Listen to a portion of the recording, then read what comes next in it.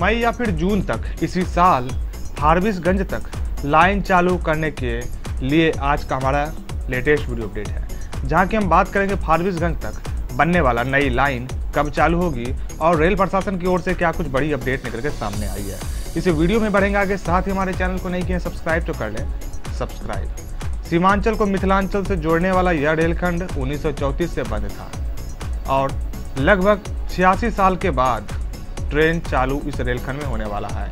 इस रेलखंड को फिर से चालू करने के लिए 2012 में आमान परिवर्तन का कार्य शुरू किया गया था।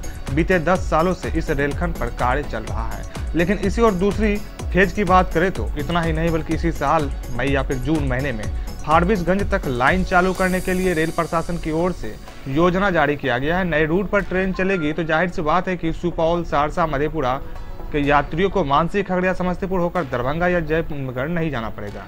सहरसा से सुपौल, आसनपुर कुफा झंझारपुर होकर दरभंगा तक ट्रेन परिचालन बहाल होने के बाद कोसी और मिथिलांचल का सफ़र कम समय में तय हो पाएगा और इससे लाखों की आबादी को सीधा लाभ मिलेगा और फारबिसगंज तक एक्सटेंशन हो जाने के बाद ट्रेनों का सुगम परिचालन भी हो पाएगा।